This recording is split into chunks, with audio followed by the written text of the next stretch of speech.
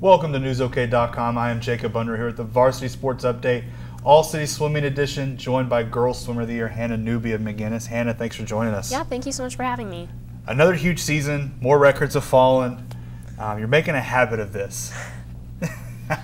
How much are you Kinda. enjoying this uh, journey you're on? I mean, t- two records freshman year, two more records last year, two more records this year. Um, it's really exciting. Um, mostly, the great part about it is that I can just see that I'm still improving year after year, and all the hard work I'm putting in is it's still working and it's helping me achieve my goals. So, yeah. How how much do you feel like you have improved through these years? Because I mean, that's that's pretty impressive to keep doing it. You're breaking your own records a lot of these times too.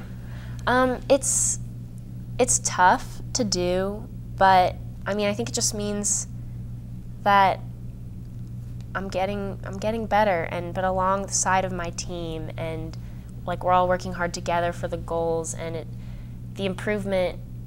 I have improved a lot, but it's just it's just the working hard day in and day out, and I know like my team is doing that too, and I want to do it for myself and for the team. So. How do you stay motivated? Because some people could think I've already got these records, I'm good. Um, I'm really self motivated, and some people kind of ask me about like, is there something specific? But I there's just something inside me that just really likes to set goals and then achieve those goals, and then set goals that are even higher than that. It's just kind of who I am, and I like I like improving and seeing my goals happen, and I also want to do it for my team and help them out and get the points for the team, um, and ultimately just you know help McGuinness. Speaking of goals, what's the next goal then? Have you already set those? Um, yes, a little bit. Um, I'm heading into the long course season right now, so a lot of it's about the 50 meter pool, but um, I would like to improve my times next year at state as well. So Same events, or do you mix it up at any time? I'm thinking same events, but um, don't hold me to that. I might change. so What about outside the high school season too? I Mm-hmm. know you have a lot of goals there. Um, I think Olympic trials, stuff like that's a possibility Mm-hmm. That I think you've considered. So what what are you thinking there? Um, I'm thinking more.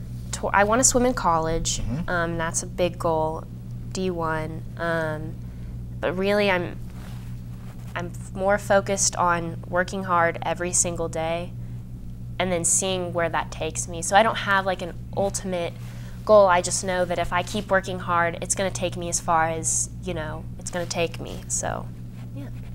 Any idea on college yet? I know recruiting's a little different, Mm-hmm. and so you, kind of after the junior years when they can start talking to you. But um, any idea yet? Mm-hmm. Not really. I'm talking to some colleges right now, but nothing definite or anything. So It's got to be pretty exciting, though, right? mhm, it's exciting, definitely. All right. Well, thanks for joining us. yeah, thank you. And stick with NewsOK.com and get the best high school coverage in the state.